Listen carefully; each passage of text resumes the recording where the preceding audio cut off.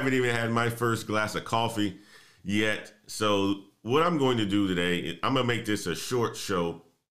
We have brunch at 10, and I have to do the cooking for that brunch, and I need plenty of time to kind of get things ready for that. It's going to be a long day, but let me talk about the re- the the week. I had a very good week. Um, we closed on a house in New Braunfels, so that is all off our plate. We are excited about that. I started my new job on Monday last week, guys, and let me just tell you like this: when you start a new job, you when you start a new job, you end up drinking out of a fire hose. I have so many emails that I don't know what's going on. Um, you know, I'm getting up to speed. I've spoken to many partners and customers this week to just introduce myself. But it was a good week. It was a good week. I am excited that I'm in a new role because it's change and it's an opportunity for growth and it's an opportunity for me to learn a lot more as well about the business and so forth. So many of you guys know or knew that I was in direct sales, selling directly to customers. Now I'm in indirect sales. So I'm still getting to the bag, but a different way of doing so. So I'm excited about that. Uh, next week, guys, or actually tomorrow, I am flying to Atlanta. I am flying to Atlanta. We're going to have some team meetings with my new manager and so forth. And um, we are going to be brainstorming about my role as well as the organization. She's bringing everybody there so we can get a, have a good understanding of what everybody does and, get an opportunity for meet everybody and so forth. So uh, I'm gonna be in Atlanta on next week for you all who are part of the Patreon.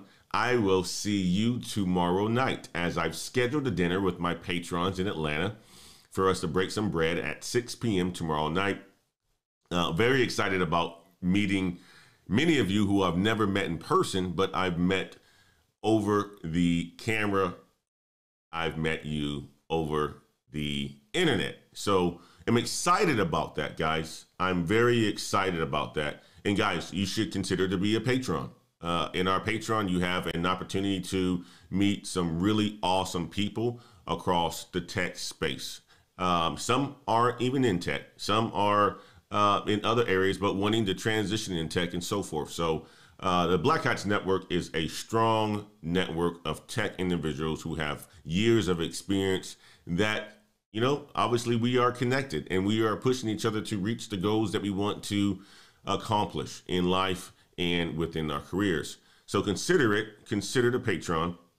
Uh, the second thing is somebody asked if I do coaching. Yes, I do career coaching.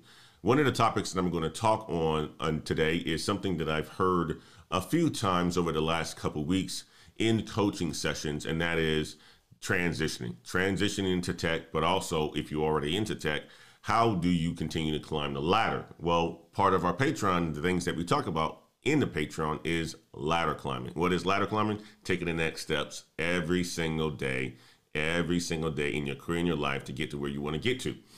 And when you do that, you end up making a shit load more money. That's just how it is. That's how it is. So, guys, I'm excited. This is going to be a quick show today, a 30 minute show, two topics, two topics only. And uh, we're going to cut out of here. So, guys, grab your coffee. I'm glad that you're in here. Okay, guys, in these coaching sessions that I've had, I want for us to just think about our value. And I always talk about this in videos as well too. I always open myself up to the market and the reason why I open myself to the market is because it allows for me to understand my value on that open market. If you don't know what your value is on the open market, how do you know what you should be getting paid? How do you know what you should be getting paid? It's no different than you listing your house on a market or you looking at comps on a market. You have to see whether the houses are going for if you're going to be considering to sell a house or to buy a house. You have to have market information. And for you personally, if you are in a role and you don't feel like you're getting to the money that you deserve, you need to put yourself out there to the market. You need to put yourself out there to the market, whether you take it or not. You should be putting yourself out there to the market to understand what else could you be getting paid? Because many of us have been in roles for quite some time and aren't getting the pay that we deserve. We aren't getting the pay that we deserve. And and if you are in this situation, guys, book a coaching session with me. We can work through it to get you on the market, to get you a better understanding of what it is that you could be earning to help you support your family and so forth. But let's talk about this gentleman here. I'm a 30 year old IT manager making 67,000. I've had one employer for 12 years. So he's a dedicated guy. He's a guy who has found a home at a company and he likes his job. Obviously, if he's there for 12 years, he must enjoy what he's doing. But he's too anxious to leave. So he's 30 years old, he's in IT, and he's only making $67,000 at the height of what people in tech are being paid. I can tell you like this he's being underpaid. He's being underpaid, right? And he has anxiety about leaving. Okay, so in his journey, a 30 year old IT describes feeling underpaid but too anxious to leave his job. I'm a 30 year old white man living in the Midwest and making $67,000 a year. I work in IT for a manufacturing company that makes packaging products. I started at this company in 2010, making $15 an hour, about $32,000 a year. That may be you. You've been at a company for a long time. You're probably making $15,000 an hour, $32,000 a year. That's well below the national average. If you look at the averages, that is a D plus or C minus in your earning potential. I'm happy in my role and want to stay at this company.